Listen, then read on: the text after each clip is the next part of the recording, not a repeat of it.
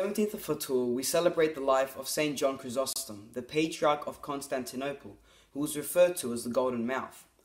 Due to his pious mother, St. John Chrysostom living up a saintly life and was adorned by saintly virtues.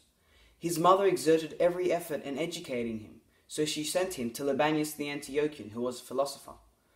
St. John acquired a love of the Greek language and literature, and through Libanius he studied law and became an advocate.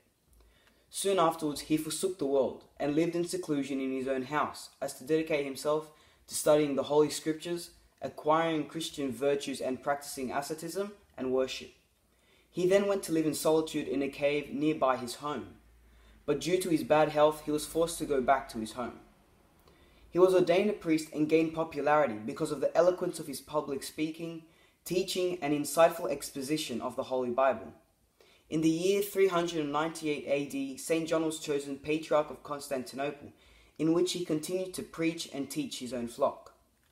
During his time on the throne, he endured many hardships from Queen Eudoxia, who eventually exiled him to Comana in Pontus. He arrived there with his health already completely deteriorated. What we can learn from St. John Chrysostom is that if we learn our church's dogma and rites, we will be able to fully immerse and embrace the beauty of our church.